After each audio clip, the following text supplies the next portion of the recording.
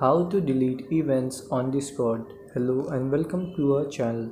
In this tutorial, I'm going to show you how you can delete events on your server on your Discord app. So please watch till the end to properly understand the tutorial. So open your Discord app.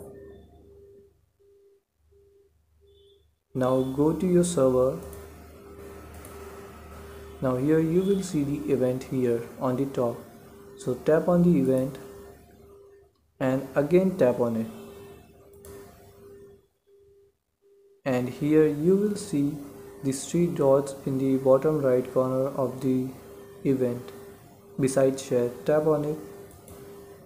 And here you will get the option to start edit or cancel event. If you want to edit something in the event you can tap on edit and change start time and time description event topic etc but if you want to just delete the event